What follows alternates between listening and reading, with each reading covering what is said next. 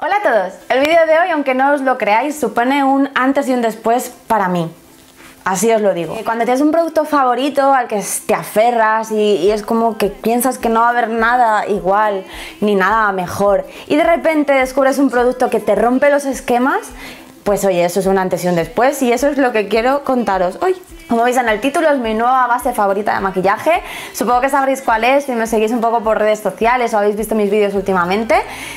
Y venga, vamos allá.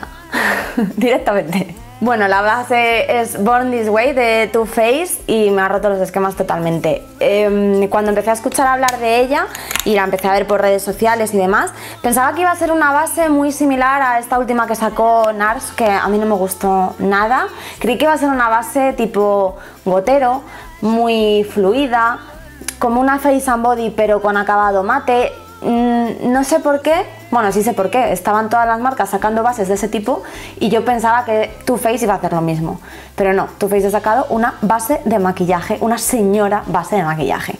Hasta ahora Sheer Glow de NARS, eh, más concretamente en el tono Santa Fe, era mi base favorita por excelencia, por su acabado y demás. Bueno, si tengo algún vídeo que os hablo un poco específicamente de ella, os lo voy a dejar en la caja de información pero ha sido probar esta y de verdad me habéis pedido mucho que os hable de ella, así que aquí estoy hoy sentada hablando de esta base de maquillaje.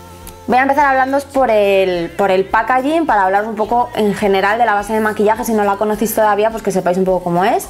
Eh, tapón de plástico, pero en base de cristal y viene con dosificador. Y esto es un puntazo es un extra porque estoy un poco harta de tener que comprarme la base de maquillaje por un lado y el dosificador por otro. Entonces, bueno, esta ya viene así completa. Que sea de cristal no me entusiasma, pero en general que los productos cosméticos sean de cristal no me entusiasma porque soy muy patosa y se me rompe todo.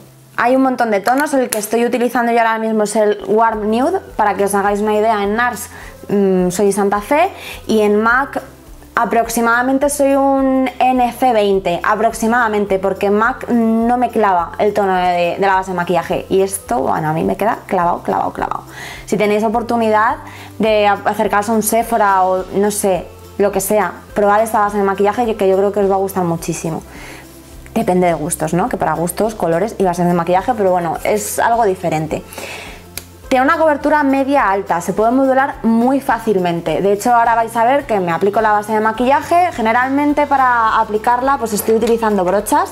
Por ejemplo, eh, la Pro 44 de Burlesque es una brocha bastante mm, grande, bastante tupida.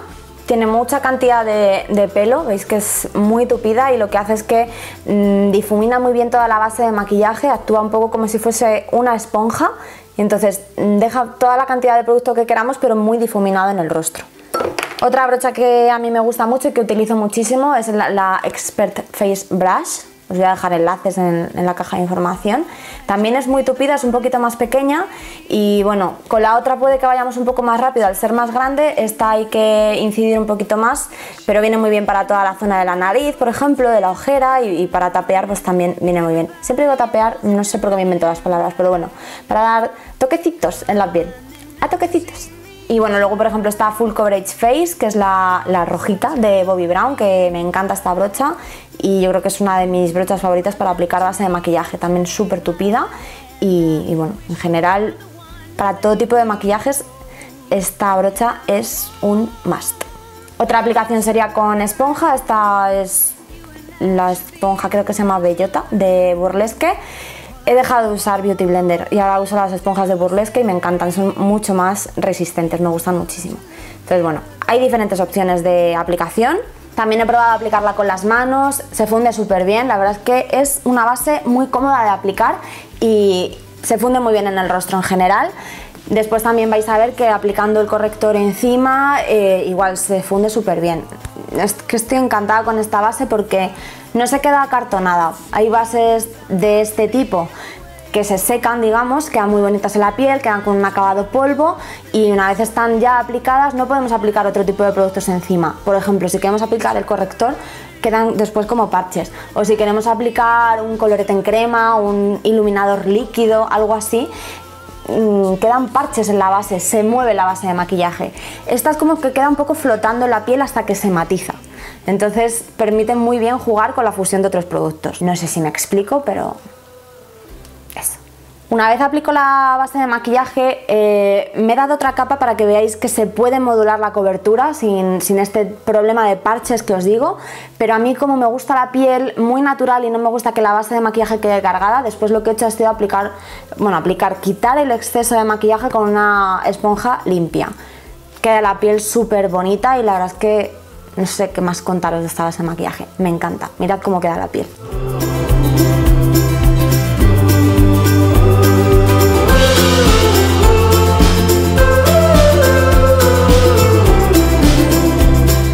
Ahora ya llevo bronceador, iluminador y demás, no llevo nada más que eso, me podría haber maquillado los ojos para hablaros en este vídeo, pero bueno, así veis la piel, que al final es lo que quiero que, veáis, es lo que quiero que os fijéis, si me pongo el labial rojo no os vais a fijar en la piel. Y poco más que añadir, espero que más o menos os sea útil esta reseña, no sé tampoco explicaros muy bien, yo soy más de de trabajar que de explicar. Me lo dicen mucho, eres una curranta, pero como comercial no vales nada, y es cierto.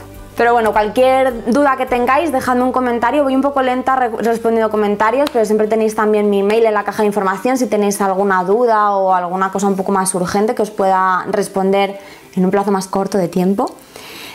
Estoy encantada con esta base de maquillaje, ya os digo que ha desbancado totalmente a mis otras bases favoritas.